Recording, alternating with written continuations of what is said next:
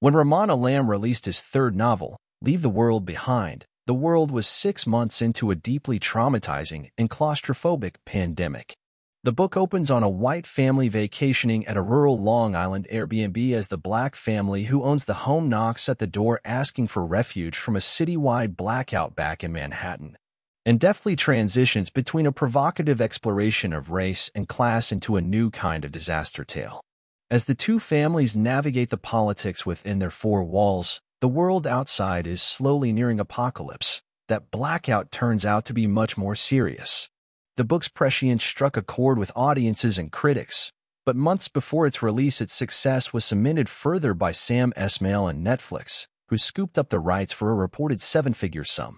Now, three years later, the final form of the thriller will premiere as the opening night film at AFI Fest.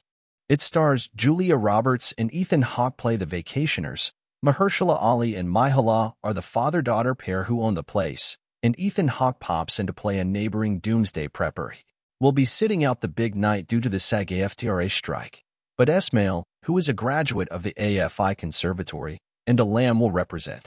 The author joined THR via Zoom from his Brooklyn home ahead of his travels west to reflect back on his book's success and tease what little he can about the big screen version.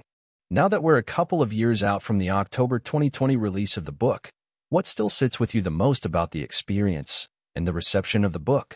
The book was published during a really tough moment for of us. So to find a readership at all is so gratifying, and I'm still really touched by it. When you write the book, there's always some remove from its reception. You're not in the room with the reader. It's sort of a one-way transaction.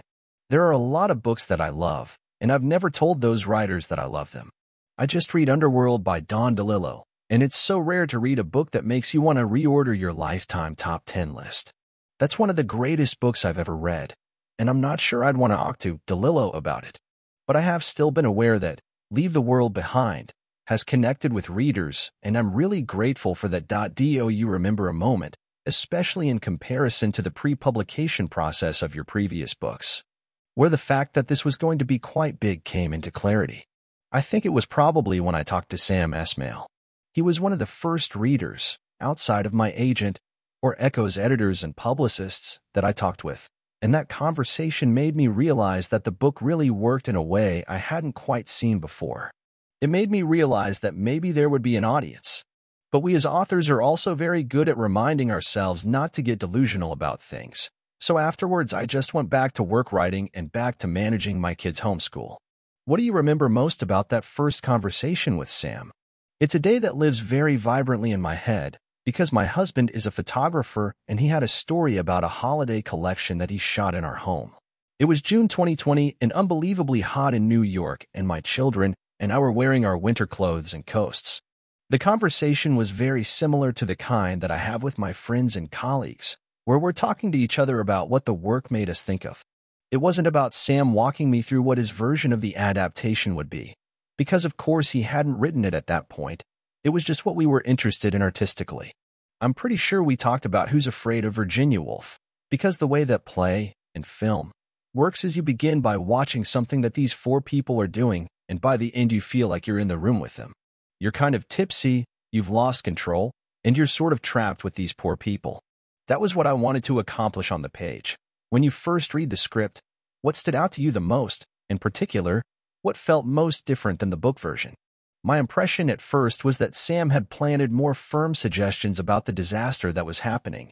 But then when I watched the film, I realized what he was doing was adapting a technique that the film also uses. The book does say this thing is happening and this thing is happening, and it declines to fit them all together into one explanation. There's no actual explanation offered in either version. The difference is that I have access to the ability to tease the reader in a different way than Sam is able to tease the audience.